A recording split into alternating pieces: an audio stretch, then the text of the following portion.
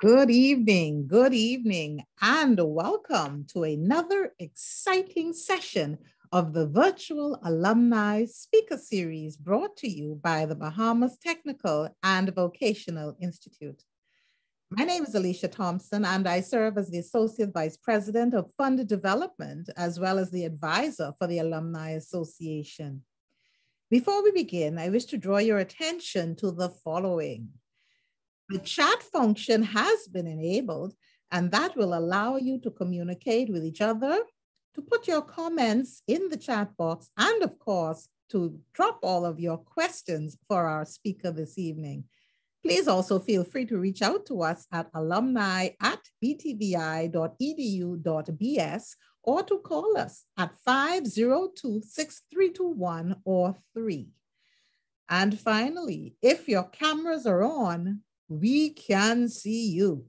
And so we suggest that you sit with your backs against the wall, but also be very conscious of your surroundings. Now I invite you to look around in the room, and if there's someone whom you know should be in here and they're not in here as yet, please share the link. We have an exciting session for you this evening. Without any further ado, I now welcome Chantel Adderley with the formal welcome. Thank you, Mrs. Thompson. A pleasant good evening to all of you. I am Chantel Adderley, an alumna in the BTVI Association Grand Bahama chapter. It is my pleasure to welcome you to the third presentation in our 2022 monthly Distinguished Alumni Speaker Series. I begin by welcoming our very own 2017 alumnus and featured speaker, Mr. Justin Johnson, who continues to make us proud at the air wing of the Royal Bahamas Defense Force. Mr. Johnson, we look forward to hearing from you this evening. I also wish to recognize and welcome each of you, management, faculty, staff, alumni, and friends of BTVI who have signed on this evening in anticipation of another exciting session. I invite you to sit back, relax, drop your questions or comments in the chat, and email us also at alumni at btvi.edu.bs with your ideas on how we can make these sessions even more better. Once again, you are truly, truly welcome. Well, thank you very much. I don't know about the rest of you, but if you didn't feel welcome before then, thank you so much, Chantel. Job well done. So now you know we don't waste much time because we we are here to hear from the speaker. And so what we are going to that now do, I now invite Miss Sonia Gator who will introduce our speaker for this evening.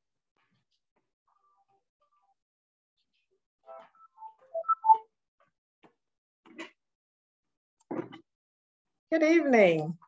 My name is Sonia Gator, and I'm the Chair of Hospitality for the Grand Bahama chapter of the Alumni Association. It gives me great pleasure to, to introduce the featured speaker for this evening. In the words of Eddie Rickenbacker, and I quote, aviation is proof that given the will, we have the capacity to achieve the impossible. Justin Johnson was born on June 25, 1997 to Brandon Johnson and Philippa Cooper, and has since been blessed with bonus parents, Colin Cooper and Roseanne Johnson.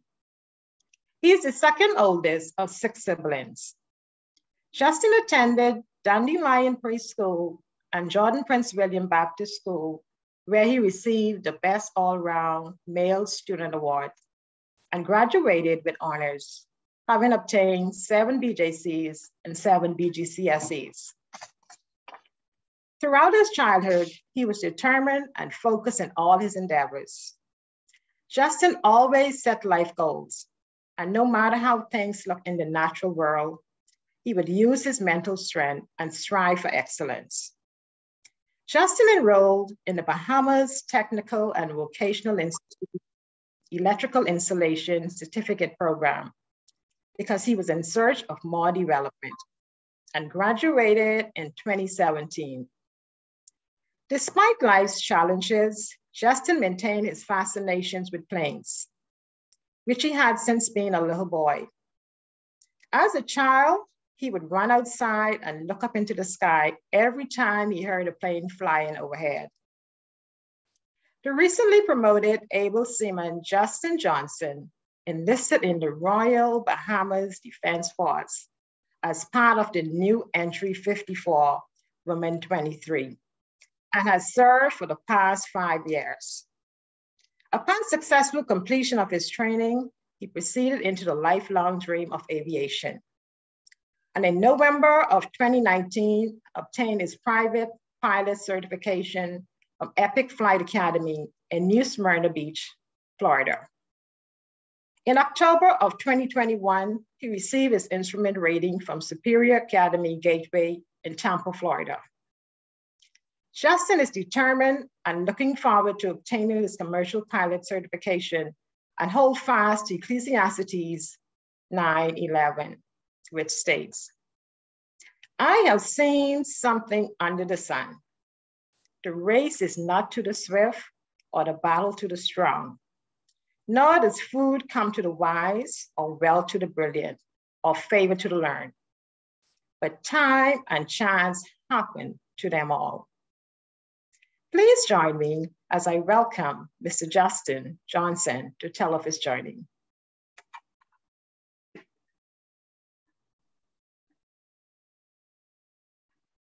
Good night, all.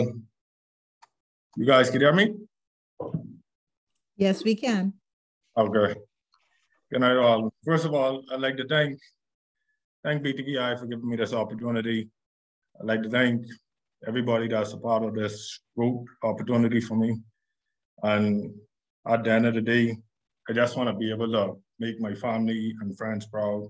And everybody who knows me know that I'm that type of person. Well, throughout my journey, I've been through a lot through the years.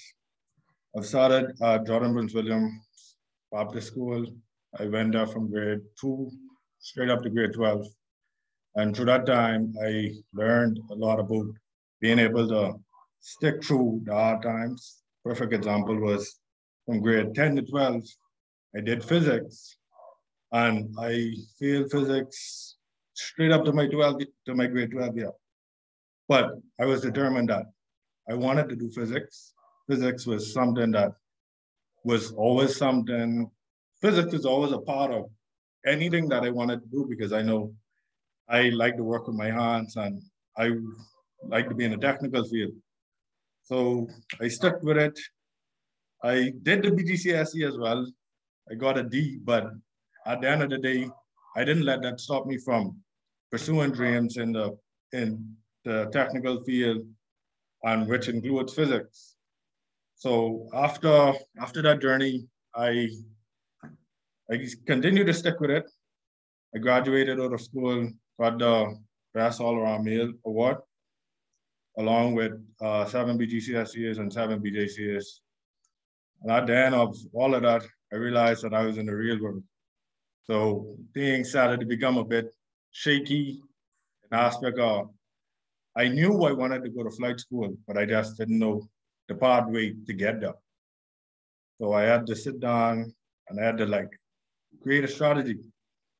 But within that time, I also knew that I didn't want it to go to the University of the Bahamas because I felt as though I would have hindered myself or put myself inside a bond that I really wasn't interested fully in. So because of that, I shy away from from uh, University of Bahamas.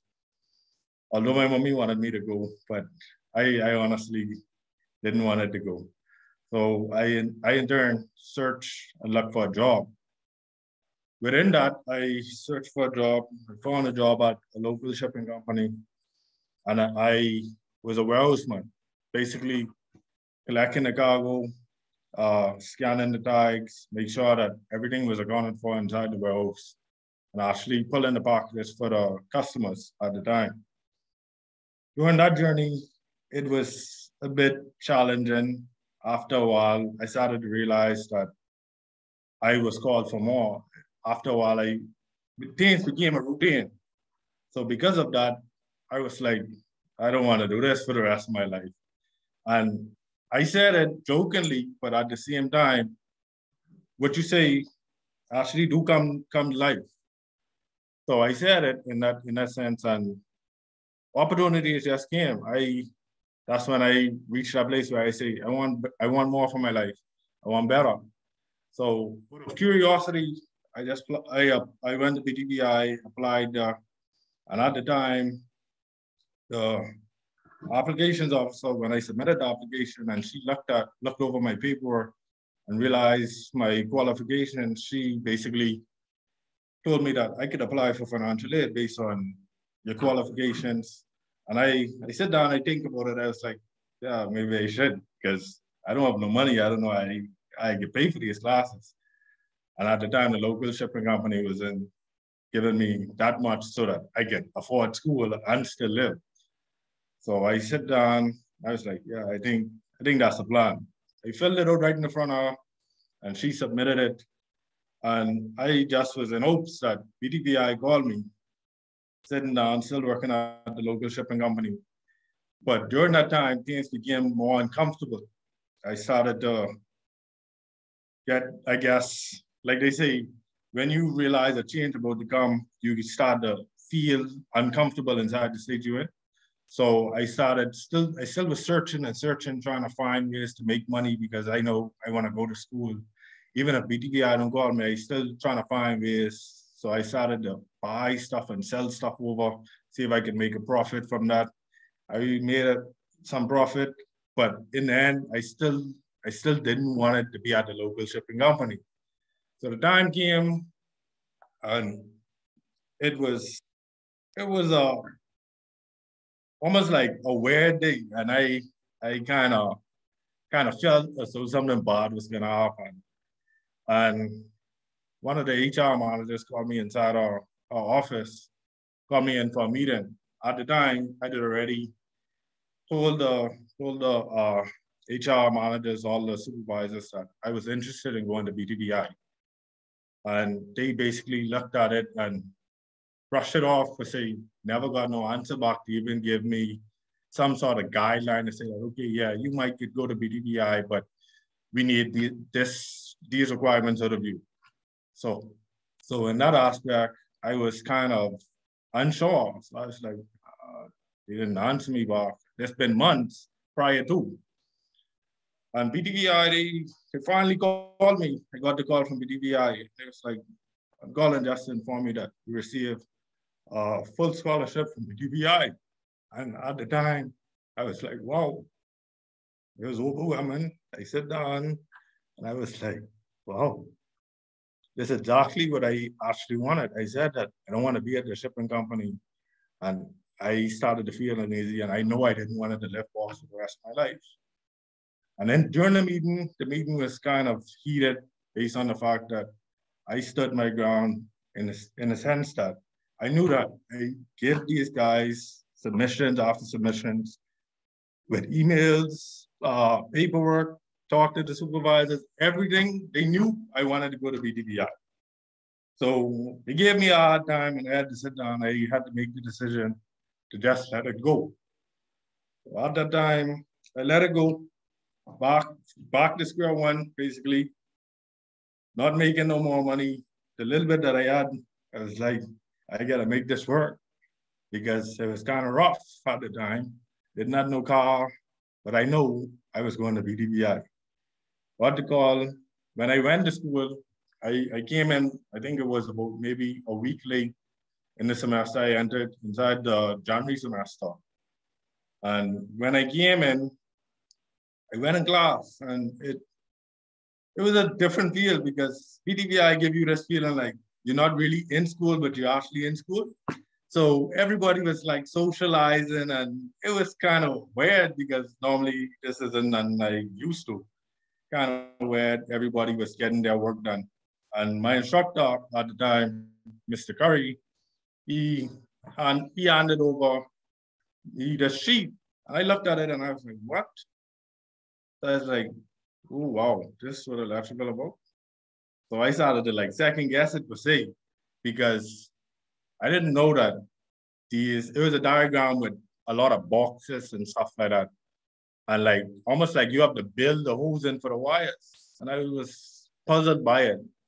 And at the time I was like, so I, I didn't know electrical installation and entails all of this. I just thought you just pull the wires and you go with that. You just make light. That's that's what you do. so at the time I had to sit back, I had to learn how to wire diagrams. So I had to draw the diagrams on the paper. And then I had to give it over to my instructor for him to look at it. And then he told me build a build a diagram. So it it was kind of challenging in the beginning because I never understand how the wires connect up together, the difference between the colors and stuff like that. So it was a learning experience, but I was learning through the process. It wasn't like I had some guidance through it. I learned through the process and despite the challenges, sometimes going to school kind of late, sometimes leaving school kind of late, my first semester was very good. I did 16 credits in my first semester, I overloaded. I finished with a 4.0 GPA my first semester, and I, I was like, wow, I could do this. And because I, I started with BTVI and I did it, and I saw that I could make a four point. I've I haven't made a four point since maybe grade two. I was like, whoa. Coming from BT, coming from uh, failing all my physics classes and electrical installation is about physics. And I was like, man, physics maybe, they maybe was trying to swing me or something like that in the aspect of it teaching me these stuff. And at the same time, I come to BTVI and I do doing the same stuff, but I get getting some good grades. So I started to, I was like, wow. So I was surprised in myself the first semester. I immediately, after I finished the first semester, I immediately gone into the summer, summer semester. I overloaded as well. And unfortunately, uh, some some something had happened and I was able to get an electrical two. If people who know about electrical installation and know about BTVI, you don't do all two of your main uh, subjects, main majors in a semester back to back. So I actually did not meet the requirements, the prerequisites to do electrical two. But for some reason, I ended up inside electrical, electrical two And it was hard, but I got through many nights I was like, boy, I don't know. But I sit down, learn the work, learn the books, uh, got my tools. I realized that things became advanced. Started to hook up water heaters, uh, water pumps, uh, ceiling fans. So it started to become more complicated and be like, oh, that's what they're talking about now. Because the first the first semester is like, I can do this. I just hooking up one light and a switch. And then after a while, it became more complicated. And I say, wow, I realized the big difference. And I realized why they say you don't do a two, a of the majors back to back. So I sit down and it was kind of, it's kind of baffling, but I had to figure it out quick. Sit down. When I overloaded my summer classes as well, I, I think I did about 40 in, in my summer classes because I, I was determined that I need to finish before something else, something else kick up. At the time, I had already applied in Royal Bahamas Defense Force from, I think, my grade 12 yeah. So I was like, I don't know if they would call me, but at the same time, I just need to be prepared. So I say, I get a push, try push through this electrical installation because I don't want to stay here two long. And then during that time, I actually started to develop the love for electrical installation.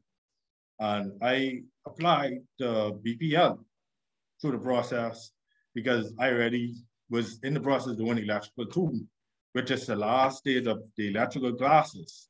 Everything else is just trade estimate, blueprint reading. So that's almost like you you actually reach the finish line. And I was like, okay, I, I get applied to BPL and see how, how that goes. And it actually opened up my eyes because I learned to adapt really fast at BTVI I was able to create a plan, try to stick with it as best as I could. And it was, it was humbling. It was a humbling experience. gave me confidence because coming from failing physics, I was like, I get into another physics class, so I don't know what to expect, but I just need to finish this one. So I I went and I continued to push, continued to push, and then things changed. Summer semester, I finished summer semester. My birthday was in June. July, I got a call, got a call, and I was like, wow. Got a call from the Royal Bahamas Defense Force, called me, they told me that I've been selected in the new entry, 54, women entry 23. And I have to sign some documents and paperwork. At the time, I was like, I still doing BTVI and still wasn't sure. And I was like, okay. But I took, I, I basically take a, I sit down, reevaluate it. I was like, at the same time, money still have to make. I have to make some money to get where I want to get. So I have to make some sort of sacrifice. But through the process, I remember the state class. There was a Thursday, it was a Thursday, Thursday day. I was in the barber shop getting prepared because Saturday was the training day. Thursday, I got a call from Central Bank. Central Bank called me. He said, Mr. Johnson, just called to let you know that you have been awarded one of our scholarships and scholarships. At the time I applied when I graduated at Central Bank, I didn't even remember. But when they called me, I said, oh yeah, I did apply. And they said, uh, you've been awarded one of our scholarships in aviation. So I sit down and I said, decisions again. So everything came, came at me at once. I had to sit back. It, it was really overwhelming. It was confusing. Me being young, he was uh, I was 19 at the time. I was like, I don't know what to do. I continue seek God for guidance, continue to push through, and I made the decision. I I heard the phone call, but at the same time, I was trying to find out more, but they didn't allow me to find out anymore because they wanted me to come to this meeting they had this big chair meeting where they wanted me to come and uh, sit down with them so they could go over all the formalities and stuff of the contract. But I I never went to that meeting, so I never knew what they was offering. But that's how they went into training. I took it, I sit down, and that was June, July 9th. Before independence, I went into training. Sit down, and I was like, boy, I really doing this. Hit my head ball and everything for the first time. It was get it was like mm-mm. but I went through it. The first night was horrible. went through the torture of the Royal Bahamas Defense Force training. Sit down, was contemplating like this really for me. But at the same time, I always knew that my mental strength was my strength. Physically, I I, I feel, I felt the burden, I felt the, the stress, the hardship and everything, but mentally, I always look beyond that. So I, I sit down, I was break up that night, didn't go sleep that night. so it, it was a different experience for me. Waking up by the sound of a bell wasn't normal, so it, it was kind of crazy. Everything was in turmoil. You sleep in in uniform basically because when the bell ring you get a jump up and go outside. So it, i sit down that night and i said well this really for me. But in the end, it was true. i always remember everything was a mental thing. Physically your body will get tired on the Royal Bahamas Defense Force during the Royal Bahamas Defense Force training, but mentally, that's where they build the mental aspect of, of your body because you learn that mentally, if you say that you can do it, the body actually follows suit. And that's where I realized that the mind is a serious thing. I learned a lot of adaptability, sit down, learned a lot of discipline. It was weird in the beginning, but gave me a lot of responsibility, a lot of confidence. And through it all, I was grateful for the opportunity, thankful for the opportunity. And the day finally came when I, passed the training. Instead of being 16 weeks, I did 20 weeks in training because hurricane, the hurricane came So we got sent home, sent us home. But with them sending us home was unfortunate uh, conversation, com- uh, the unfortunate meeting we had where we learned that we had to stay an additional four, four more weeks. so we was like, wow, shoot. So when we was thinking we was gonna pass it, we didn't pass it. Found ourselves going to Andros in training, helping the guys basically pick up their hopes. We was like, wow.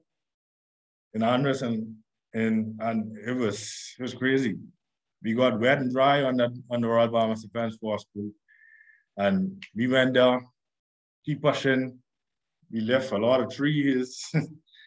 I think they even got a picture out for me on the Royal Bahamas Defense Force website with me lifting the trees at that time.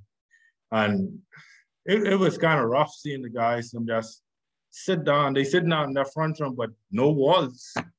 You literally seeing through the whole oaks, but they sitting down there like they trying to figure where where to turn. And it was it was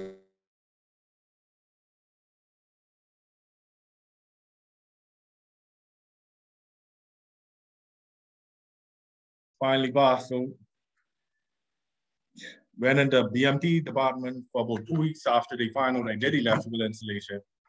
So they're like, yo, you do electrical installation. So that means you know a little something. So sent me to be uh, the BMT department, that's the base maintenance team.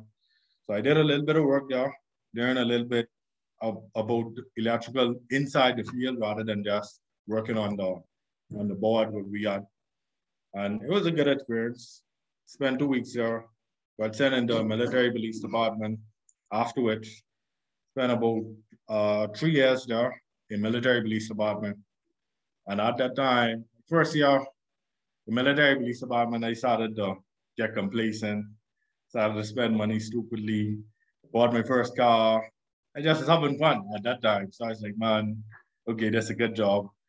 I could see it, it I, I could see me making some money. I went from making little bit of money to making a lot of money then. So I was like, oh yeah, this is kind of good.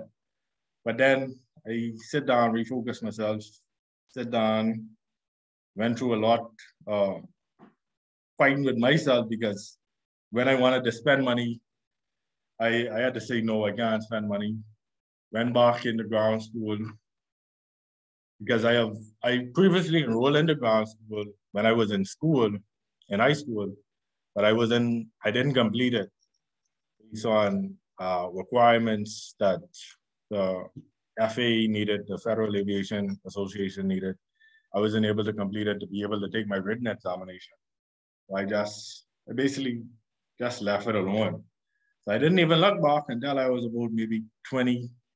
That's when I started to look back at it and be like, yeah, I need to go back in the ground. So I picked up my old box, went to the went through the ground school. Sometimes when I had to work on my downtime, I tried to study as much as I could. And the guy, some was looking at me and trying to figure out like what I doing. Like this, this isn't normal for people, um, especially in the military, the police department, because we constantly be up on our feet because we do sentry duties all the time. So it isn't much time for you to sit down. You don't have much breaks in military police department. And then you work in six shifts on top of that. So because of that, you basically just here, you working, but at the same time, it wasn't like no more room to really get around, uh, to get some sort of progress going in the sense of studying and stuff like that. But I always, I always stick with it.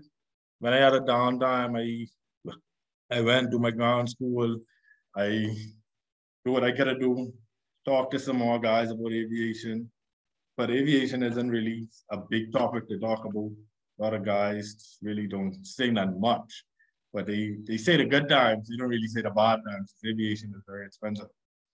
I, I sit down and I went to the ground school. I found a guy over here, classes with him, but at the same time, I was still scared because I didn't want it to be as I can't make the requirements for me to actually take my written test. So I went to the States. I said, this time I, I could be sure that I could be able to take the steps. I went to the States and did the ground school there, got the sign off from American Flyers, went there, did the ground school, got the sign off. And it was a weekend ground school based on the fact that I already did some studying and I already went to the ground school before. And that Sunday, that Sunday, I was contemplating if I really take the test because I, when I was doing the examination, I wasn't making the grades that I wanted. I sit down, I was like, but if I go back home, I don't know when I can come back. So I had to, I had to take the leap of faith, sit down, pray about it. And I took the leap of faith, took the examination, I passed it. Fortunately, passed it, barely passed, but at the end of the day, it's a pass. And that's what the guy told me to say. Because I, I was kind of disappointed in myself. I passed it with a 77 and the passing mark was a 70%. And he's like, man, don't worry about it, pass. Once you pass, you're good. You don't have to take this no more. Don't worry about the grade being a 77. At the end of the day, that's a pass.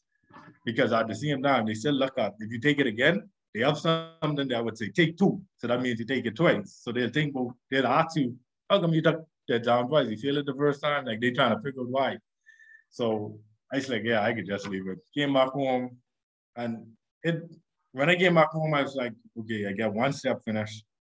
Now it's time for me to move on to the practical part where I actually have to fly this plane. And I was like, okay, this where the, the, the real, like this where everything come together. I need about $20,000.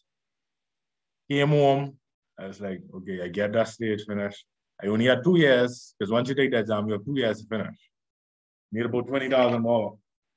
That time, I contemplated, I say, yeah, all right, this how I get, this how I get tackle this. I have to finish my electrical installation. I said, I have to go back there. I have to go back to the training. So I started, I started to work along with uh, the guy who actually did the electrical wiring for my parents' home. Started to work along with him, got in contact with him, work along with him. He showed me a few things. And I was fortunately able to go back to BTVI, finish off. I only had about three classes at the time. It was two classes and then the internship. And I I breezed through the two classes because when I can make it, I tell my instructor I can't make it, but anything that you need me to do, send me the information. Once I off, I'll come in, even if I need to, even if it isn't class time. If you do, I can come in and we could do something to make sure that I could get this uh, job job accomplished. I got it finished. And he he's lenient with me, understand that I was a working guy, trying to push, trying to be positive, young at it. So he, he liked the drive that I had. So he said down, he sent me all the information. When I couldn't make classes, he sent me the information and I was able to complete it. And I sent it back to him. He was like, yeah, okay, good stuff. You want, you want the ball. Although you're in here, you're good. I was like, okay, that's a good sign. Continue I continue to do that for the two, two of my classes. I, I enrolled in two classes and did it. And when the internship came, I was like, gee, this is the time where I actually need some time off because I had to do about 100 and something hours. And I say, I only had about, I think it was about two months to complete or something like that. But God stepped in and God did what he, what he always do. I was able to, I, I finished maybe within three to four months. I, I, I went over the time, but at the time I, I was in constant talk with the people who was dealing with the internship, telling them that I doing I doing my internship. It's just that I need some time. Uh, I con- uh, currently working, and I still trying to do this on my off time in my downtime. And sometimes with the defense force, you get called in work even when you're off. So I was just taking a leap of faith, being determined in what I do, and just was pushing. And I was able to finish it within about four months. That's why I received my lowest grade in BTVI. I always, I always remember that day. Got a C inside my, my internship because I took long, I took long to complete the internship. And I understand why kind of disappointed because I was doing pretty well. Still was able to finish with about a, I think it was a 3.7 GPA. And I paid for the graduation package, but I never, I never actually walked at BTVI. I received the certificate, received the transcript, received everything, but I didn't work. But I, I, I did that to say that at the end of the day, you have to finish what you started. And that's all I remember, finish what I started. And with me finishing what I started, I worked along with the guy, continued working along with the guy, and eventually he said, you, you doing a good job now, you're doing a good work. I could keep I could keep you around now. I could actually pay you now. Started off with about seven dollars an hour. I said, wow, this this what it entails. So I, I that was the drive to keep me going. So I, I sit down, I was going to work, knocking off. If I did a 12 day shift, knock off 8 that morning, switch my clothes by 9 30, 10 o'clock. I was on the construction site, working, working till about 3 o'clock, then come home sometimes, or sometimes I had to go right back to 4 o'clock. Go back home, go home, catch a shower, go right back to work. Knock off 12 midnight a day. Sometimes my parents didn't even see me for a whole day because I, I was constantly trying to push myself. I was able to accumulate the funds with the help of uh, other scholarship grant that I took, that I applied for when I was inside school as well, with the help of my, my mommy. She, she had me applying for all that stuff. So at the time, I, I just was applying, but I didn't really understand the, the importance of it fully. But I knew that it was uh, sort of formality. I sat down and I went through it and I found I actually found out that I got a seven seven thousand five hundred dollar grant from the uh, from the Bahamas government. It was a grant when I graduated, and immediately I signed up to the school. So that was seven thousand five hundred. Needed about thirteen thousand more. So at that time, I just pushing and pushing and pushing. I was able to accumulate about thirteen thousand in a year and I I sit down and I was like, wow, I, I amazed myself and I realized that I literally had $13,000 and I actually do it. Like I, I felt good about it, although I was tired, but mentally I knew that's what I needed to do. I I sent the money off to the school right away, sent it, and the school was waiting on me anxiously. But at the same time, I I needed some time off from Royal Bahamas Defense Force.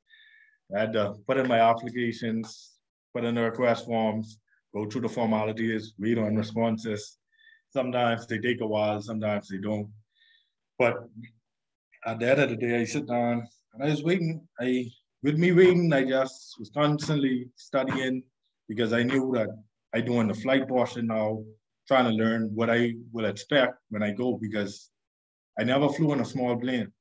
Never did a discovery flight.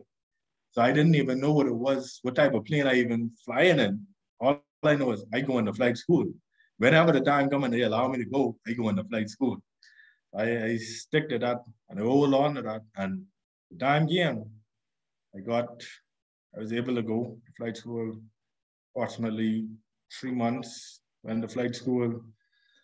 And during that time, flight school, I realized that aviation is expensive. I didn't know that. So I was like, oh, now I realize what they're talking about. The minute you start the engine, you paying money, even if you don't take off as it. So I had to sit down and realize I was paying about 200 and some dollars an hour. I needed about approximately 40 hours to actually finish my private. So when I did the calculations, that was well over $20,000. This don't make no sense. Comes the final, aviation schools only quote you on minimums which in most times you would not finish on minimum requirements. So I had to sit down and I was like, oh, that's not what I, I didn't expect that. Unfortunately, I, I was able to I able to get through with the help of my parents and everybody else around me. I was able to get a little bit more funds. And I was still getting paid from Royal Bahamas Defense at the time as well. So I got quoted twenty thousand dollars and finished with about twenty six thousand dollars, which was kind of crazy. I sat down for quite a while, and when I came back home, it it it was kind of different and kind of weird, based on the fact that prior to, I had to deal with uh, my stepfather's my stepfather going away for a few months because he had a found out he had a brain uh, tumor that had to be removed. So I was I was basically the man of ropes for a few months prior to going flight school. And I had to learn responsibility. I basically sold everything I had. sold my car, I sell everything because I said I go into flight school. But I I wasn't expecting that my stepdaddy would have fallen ill at the time. So I had to basically beat him on, uh, make sure my siblings get to school on time, make sure I get to work. At the time, we had to rent a car because I did not know more car. I had to rent a car from the rental car company, paying them by the month. It was crazy, but I, I had to do it. And it, it teach me responsibility, teach me how to be a man, teach me that you have to be prepared for prepared to have a child, not really just have a child for having a child See, And I, I learned a lot of responsibility then. And it I didn't see my parents when I went over to flight school. I went over by, by myself and I just made it up and I learned the process, went through everything by myself, went to the visa embassy by myself because my mommy was in here, stepdaddy was in here. So I just, the little bit of information I had, I went with that and I, I did it. And after everything, I sit down and I was, wow, one straight finish. I was like, I never thought that I, I would see it. I became a pilot, became a private pilot, and it was overwhelming because the at the time, my flight instructor told me straight up, he said, uh, first of all, I don't want you to think that aviation only for the rich. And that stuck with me because I was like, based on how things going, it only looked like it's for the rich people because I ain't got this type of money to be spending. BTVI gave me a full scholarship. So because of that, I was like, I really, I really know what it is to really spend this type of money. And BTVI's tuition is way less than that. I, I could get a couple degrees with this. I could go back to BTVI and get a couple degrees. Twenty thousand dollars ain't a little bit of money. So I was like, yeah. But at the same time, what I learned as well, he told me, he was talking to me, and I didn't know at the time but he had military background. He was a Marine Corps at the time.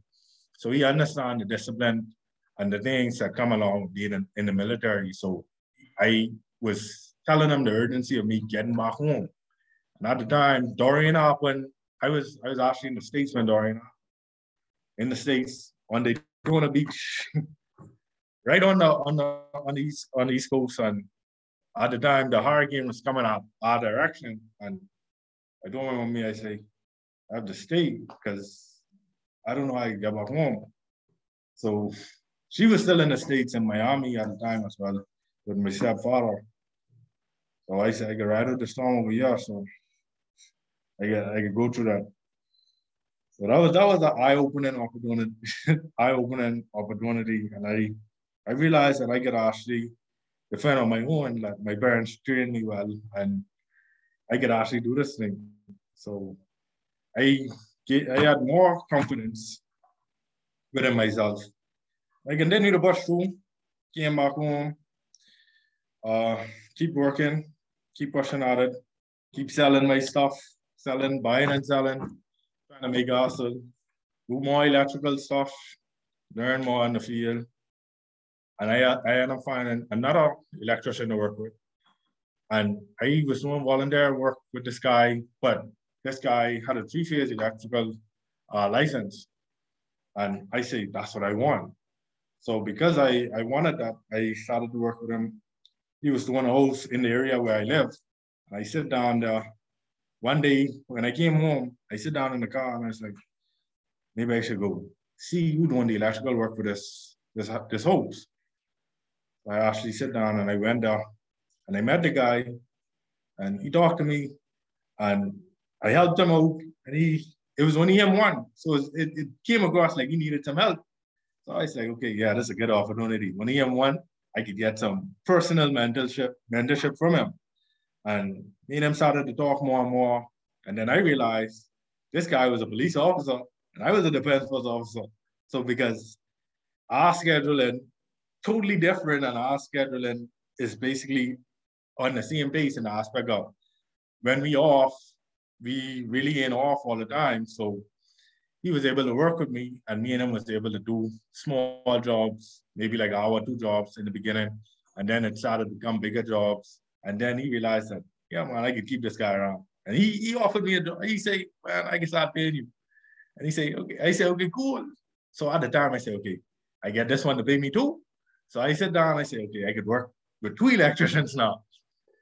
I, I started to work with two electricians with, with the little bit of time I had. Continue to push, continue to push. And I, it was unbelievable. Eh, everything just started to unfold. At the time, I was like, I actually doing this. And I never thought a little boy like me who, who always used to watch planes in the sky would be there flying a plane and like having fun. Like it, it was cool. And at the same time, I knew that I needed more money. So I had to sit back down. I say, more money gotta come. I have to do my instrument now. So I, got a lot of quotes. Fortunately, I didn't want to go back to that school based on the fact that it was expensive. I did not I did not the funds to, to, to finish with that school. I had, uh, had a look around, found a school. Fortunately, same concept, leap of faith. Was able to talk to the owner and he sit down and he basically break down the whole instrument training to me. And from then, I, I didn't like that the experience and I didn't even meet him as yet. When I actually went to the school, Superior Aviation, went to the school, I met him first time. Comes to find out this guy was a Caribbean guy. So he, he kind of understand the Caribbean background in the aspect of our tradition and the way we live and stuff like that. It isn't like how the Americans live. So you understand the struggle and the, the, the hardship you go through to try to get where you need to get. So he sat down, I was able to talk to him. I said, I need to be finished in a month. I say, I only have a month to be over here. I, I need to be finished. He's like, yeah, okay, I get I could try to make sure I get you through, but you need to do about 20 hours uh, uh, cross country PIC time. That's basically time where as I fly by myself. And I had to fly by myself, build them hours. And then when I went there, I say, okay, I got the 20 hours now. I'm ready to go. He gave me the instructor. The first week we did all 15 hours, what I was required to do. And I was like, this happened fast. So the money, I watched the money drop fast. so I was like, Yee. So I started to scratch my head. But at the same time, my instructor, my instructor was a was a pretty cool guy. Me and him started to talk. And then he found out that I was 24 and he was 24. He's like, man, where are we to see him age? So he started to feel a little bit more, I guess, comfortable because he thought I was older than him.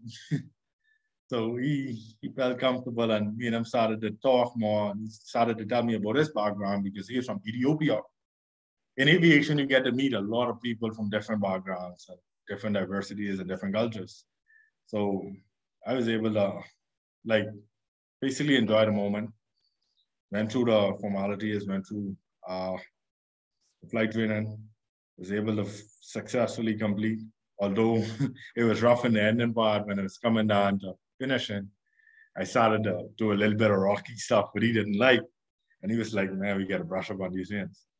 And at the same time, I was like, I ain't got no money. so he was like, but we, we need about one more flight. I say, I say, I can't do one more flight. I only have money for check ride. I say, tell me everything I need to do. I can try remember them when I go to check ride. So he, he say, okay. So he tell me everything I needed to do. I went into school early for, for us to go over the oral portion of it. And fortunately, I was able to pass. I went to the check ride, designated pilot examiner, that's, that's the person who actually uh, examines you and give you the certificate. They say that you successfully pass or you fail. She was pleased in my performance, able to answer most of the questions she gave me, and this is quite cool. Came back home, I earned my instrument. So I got into feel more like a real pilot because when you have your private pilot certificate, you only can fly at a certain altitude and you got to make sure I look at the floor because you watch, you looking at things on the floor to guide you along the way. Whereas with instrument, you rely on your instrument. So you're looking more inside the plane. You could be able to fly in the clouds with no issue. You could fly in a little bit of adverse weather. And it was a different feeling because you get to actually learn what these instruments all about. And it's amazing the instruments inside the plane actually could get you straight, straight to the one, straight to the runway without you even looking outside. And that was kind of cool to me, my first time doing it. Told me, all right, take off the foggles because I, I had on some uh, view limiting devices. So they blurry. I couldn't see outside. I only get to see the instruments in the cockpit. And he said, go visual. When he said go visual, I take off the, the glasses. When I look, runway right in the front of me. Everything I did, that's how I know I did it well. And I completed the task. All I had to do was land the aircraft. And then I did an instrument approach. I was like, oh, that's what the instrument was. And the more and more I did it, the more and more I was amazed by the accuracy inside these, these instruments and approach plates that we was using. I was like, wow, this, the people who sit down and study this thing really, really did a good job because I would have never known that this would aviation all about because, like I say, the guidance along the way isn't uh, isn't we we only get a little bit of knowledge about aviation. We don't get much. So it was it's a worth experience. If I had to do it, do it again, sit back down, do it again, and reevaluate myself. So right now, I go into the process of doing it again because currently I sell everything. but at the end of the day, that's what you have to do. You have to make the sacrifices, and you got to keep on pushing.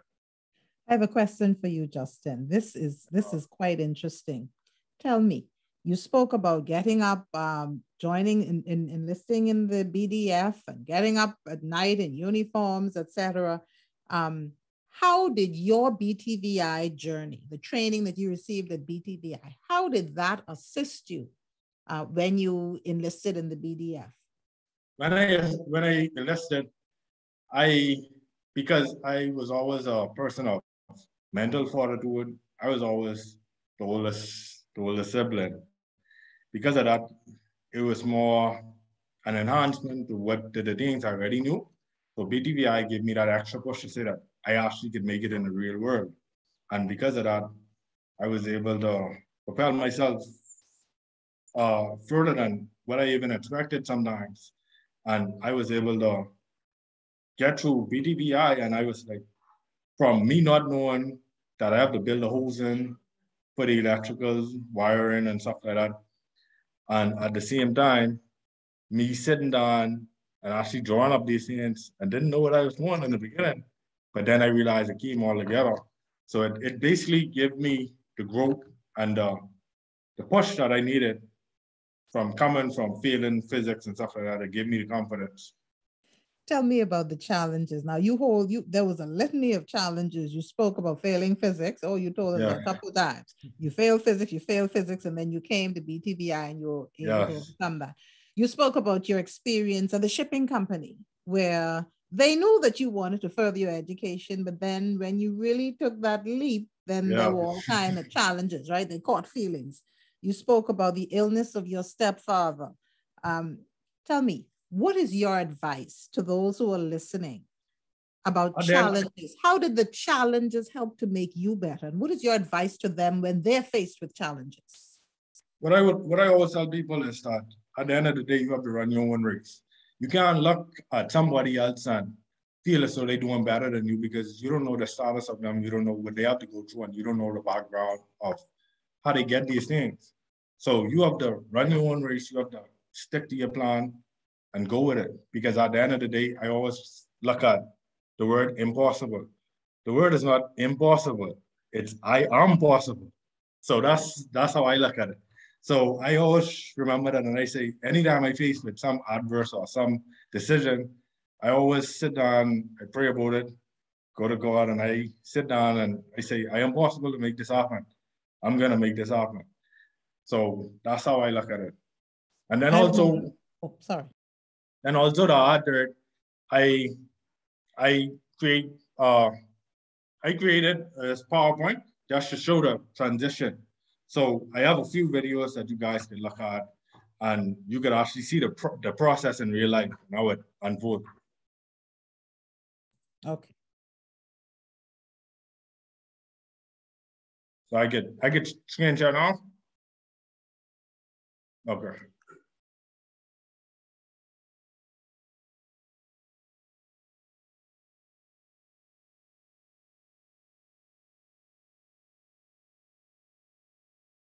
Oh, this the beginning, the beginning slide. That's me as a little child going through the years. Okay, uh, we're not able to see it. We're not able to see it. You're not able to see? No. Okay, hold on.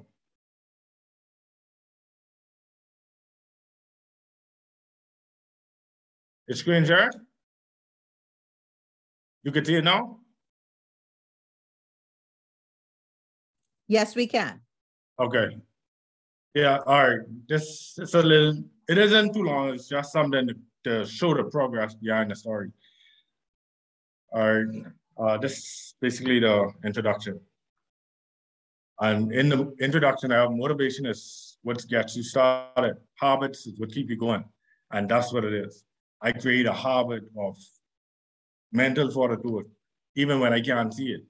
I, I create the habit of I want to be able to be successful. And as a child, I always watched the planes outside, running outside. Once I awake, any time of the night, once I get to open up that door, I was opening up that door and I was going outside to watch the plane. A few pictures when I was a when I was a child, growing up through the years, always outside, never really a TV person, so I find myself to be outside most of the time. Uh, this is actually a video when I was inside BTVI. And it, it, this was one of my practical exam actually. And it basically explains what I was saying.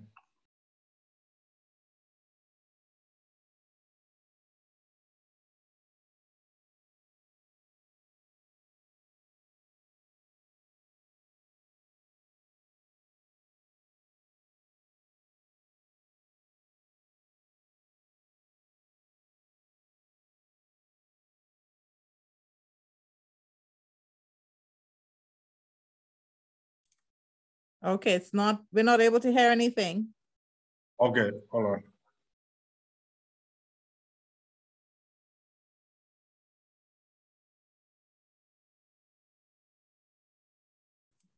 Still not hearing anything.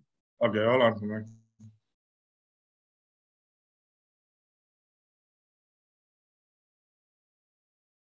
Let me try to shut our audio.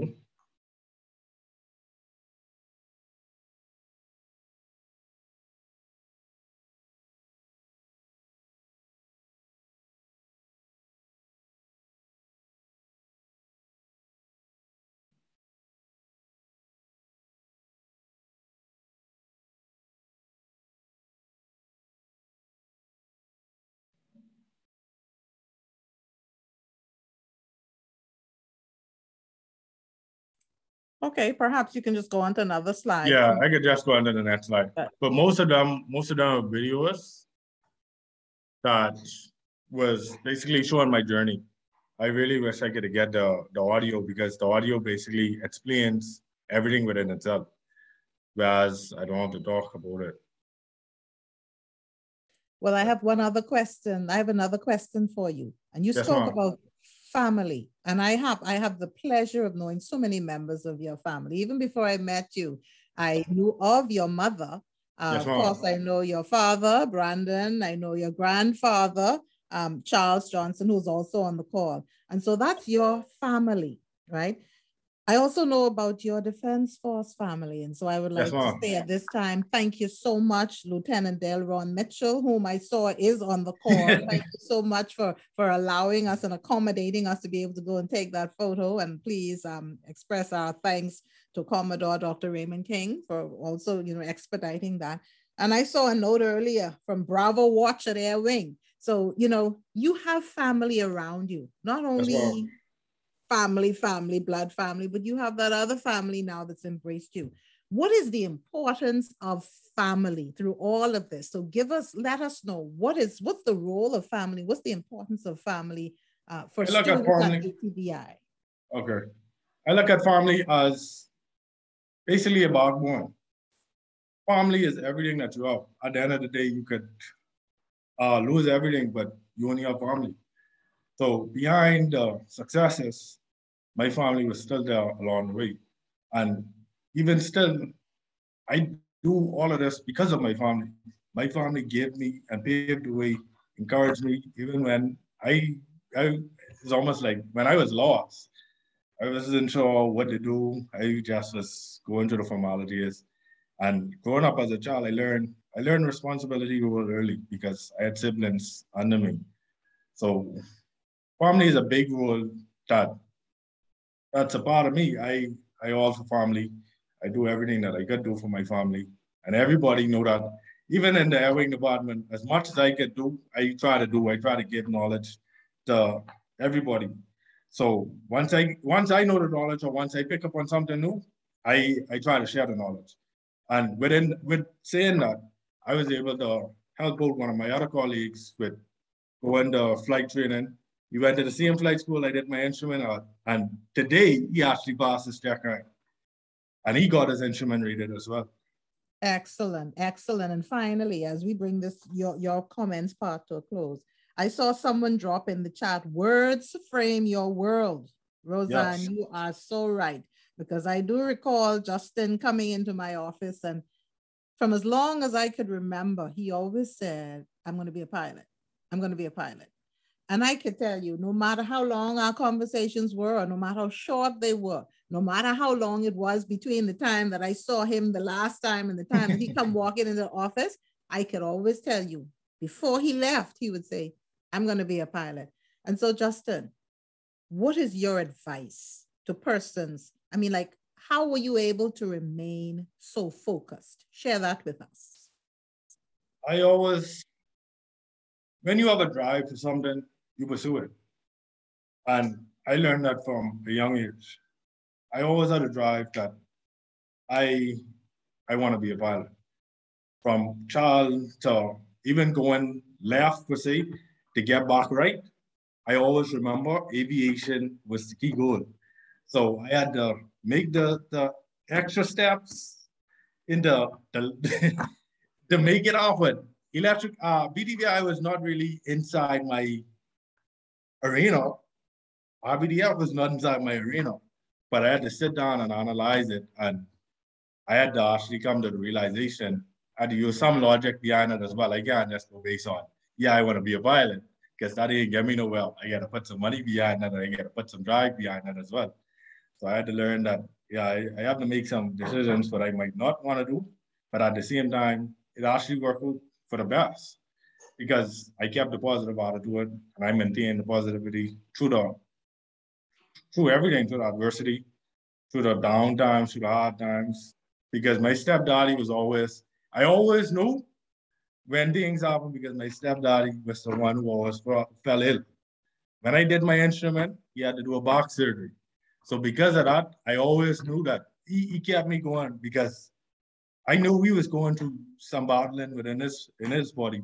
But at the same time, I knew that I need to be able to finish this so that I could be able to keep him going as well, so that he could be proud of me. Okay, well, thank you so much. Thank you, thank you. And now I invite Ms. Jetta Says to take us on home. Good evening, all. My name is Jetta Says, and I'm the secretary of the New Providence chapter of the Alumni Association. Able Seaman Johnson, how inspirational. As I looked for an appropriate way to thank you, I came across the pilot's prayer. May the Lord Jesus be always at your side as Savior and friend. Beneath you, as you fly at such heights and with danger near. Hold you with angel wings and keep you safe. Be behind you to watch over your back be your guide when vulnerable. Be ahead of you, guiding your instincts and decisions. Above you to reveal heaven's gaze. We are so BTVI proud of you. Thank you for sharing, and we look forward to greater and better things from you in the future. Now to our alumni updates.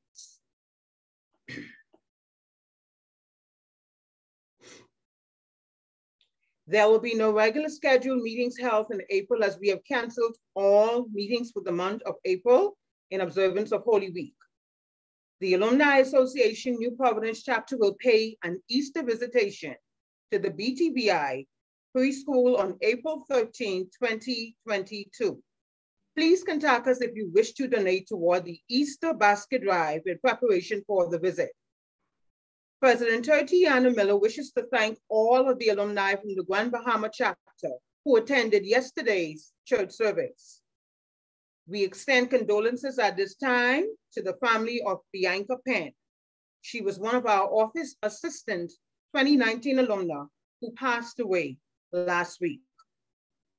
Your continued prayers are also requested for 1995 alumnus Ryan Bethel and family, as they are also still dealing with the disappearance of their father, Mr. Robert Bethel. All BTVI potential graduates, you are reminded that the deadline for application for graduation is April 1st, 2022. Please apply now so that we may welcome you into the Alumni Association. Anyone wishing to join the Alumni Association WhatsApp chat or to purchase alumni branded items such as mugs, lanyards, tumblers, t-shirts, you're asked to contact us at 424-0431 or 502-6321 or 3. Those have been the announcements. Now back to you, Mrs. Thompson.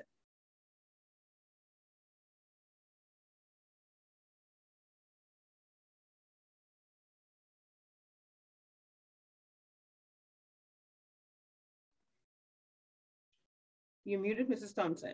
Okay, thank you very much. So there I go. thank you, thank you, thank you. Jetta, excellent job. I'd like to say thank you once again. Thank you to Mr. Justin Johnson. You know, our lives are all much better now that you spend the last hour with us. We are grateful for all of you who have joined us. We remind you that we will be back here one more time at the end of next month, the last Monday in the month for the alumni speaker series. And so again, I've dropped in the chat the contacts 4240431, the email address alumni at btvi.edu.bs, and our office numbers 5026321 or 3. We would like to hear from you. So until next month, continue to remain BTVI proud. Good night.